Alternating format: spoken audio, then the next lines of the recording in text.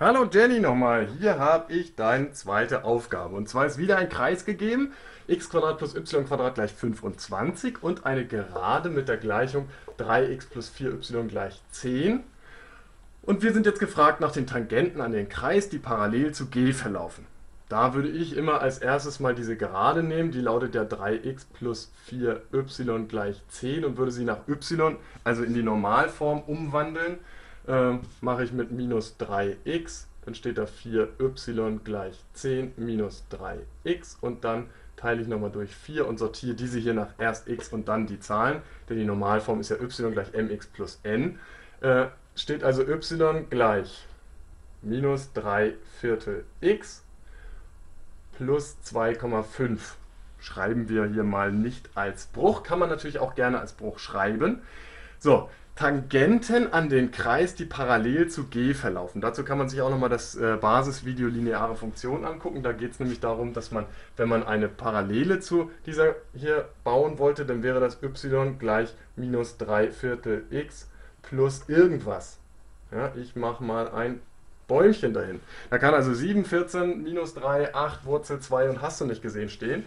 Ähm, und wie nennt man das, wie, kann man sich das grafisch vorstellen? Dieser ähm, Kreis geht ja durch den, ist der Mittelpunkt hat, hat er, hat den Mittelpunkt im Ursprung und äh, 25, äh, das heißt der Radius ist, äh, die Wurzel aus 25 ist 5. So, ähm, wenn wir jetzt mal minus 3 Viertel x nehmen, dann geht die, und durch 2,5 geht sie auch noch, dann geht sie ungefähr, ungefähr so. Ja, das ist wahrscheinlich eher ein halb, aber ist egal.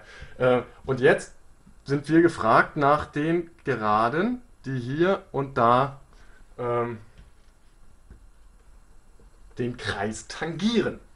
so. Jetzt natürlich die Sache, man könnte denken, man kann das ja jetzt hier irgendwie über, äh, äh, ausprobieren, indem man einfach sagt, gut, ich schiebe das mal einen nach oben und dann gucke ich mal nach.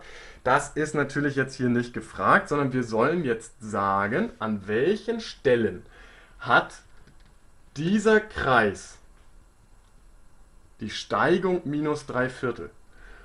Und dazu geht es natürlich jetzt hier weiter. Ich schreibe hier direkt darunter nochmal das Teilergebnis y gleich minus 3 Viertel x plus 2,5 ist die gleiche, ähm, ja, hat das gleiche Bild wie die Gerade g.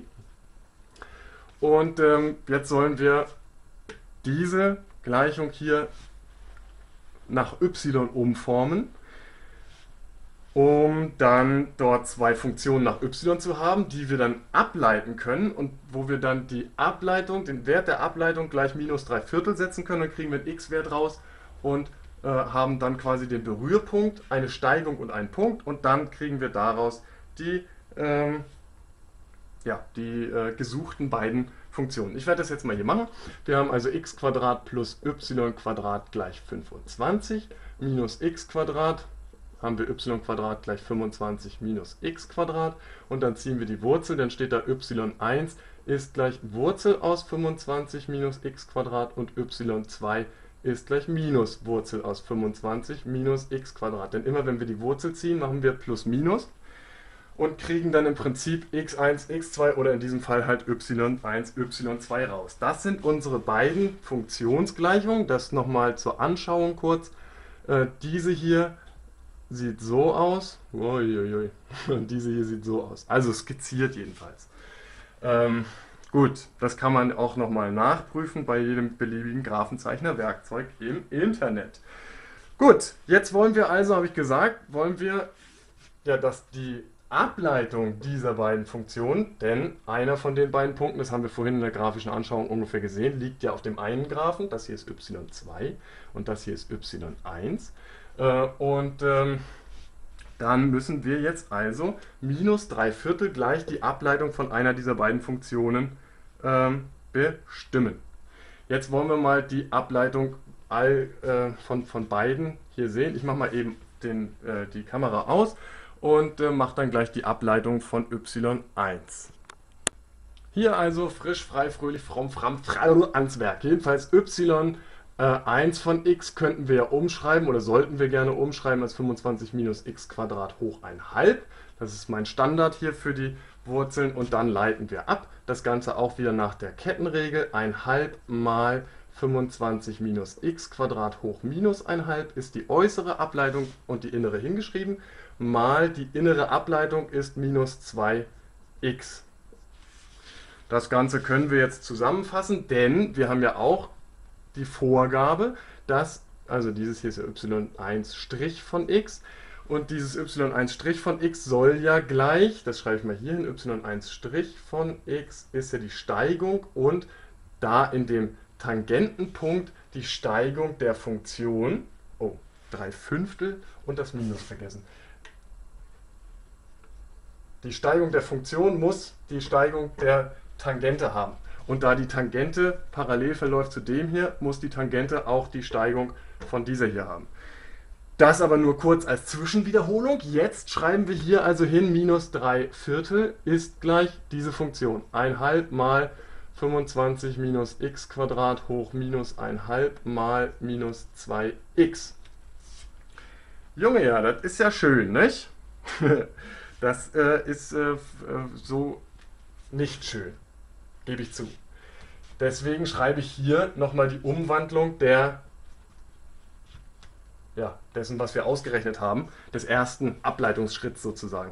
Hier steht 25 minus x Quadrat hoch minus 1,5. Hoch minus heißt, steht unter einem Bruchstrich.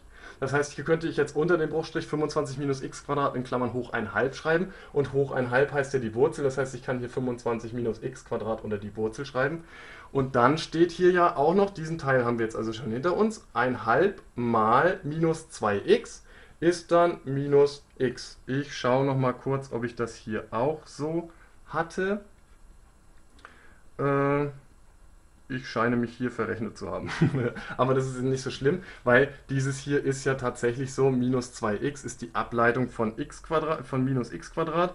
Und äh, das habe ich hier wohl in meiner Aufzeichnung am Anfang vergessen gehabt.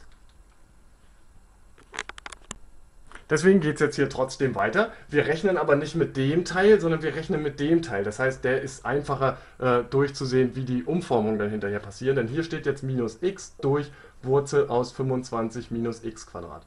Wenn wir das rechnen wollen, dann rechnen wir jetzt mal Wurzel aus 25 minus x Quadrat. Und dafür werde ich jetzt aber für den Schritt gleich nochmal wieder eine neue Zeile anfangen, hier drunter dann. Und ähm, äh, wenn du dir das aufschreiben willst, dann solltest du natürlich immer mal zwischendurch Pause machen und zurückspulen. Wie gesagt, so geschehen. Wir multiplizieren hier mit dem Nenner. Dann steht hier minus 3 Viertel mal Wurzel aus 25 minus x Quadrat ist gleich minus x. Nenner ist weg, erster Erfolg ist gefeiert. Jetzt wollen wir natürlich auch noch die Wurzel wegkriegen. Die kriegen wir weg, indem wir beide Seiten quadrieren. Dann steht hier, minus 3 Viertel zum Quadrat ist 9 Sechzehntel. Ja, 3 zum Quadrat und 4 zum Quadrat muss gerechnet werden oder halt minus 3 Viertel mal minus 3 Viertel. Minus mal Minus ist Plus, 3 mal 3 ist 9, 4 mal 4 ist 16. Nur mal da äh, zwischendurch. Die Wurzel wird aufgelöst durch das Quadrat, deswegen steht dann hier nur noch in Klammern das Ganze in Klammern deswegen, weil sich die minus 3 Viertel vorher auf die ganze Wurzel bezog und jetzt bezieht sich dieser Koeffizient, der quadriert wurde, auch auf die gesamt, den gesamten inneren Term der Wurzel. Ist gleich minus x Quadrat wird quadriert zu x Quadrat. So, jetzt können wir das hier ausmultiplizieren und äh, dann nach x und y sortieren. Das will ich jetzt hier in diesem Fall nicht machen, ähm, äh, äh, damit auch noch was zum selberrechnen übrig bleibt. Dann steht dann nämlich als nächstes 9 ist gleich x Quadrat. Jetzt habe ich eine ganze Menge Schritte übersprungen.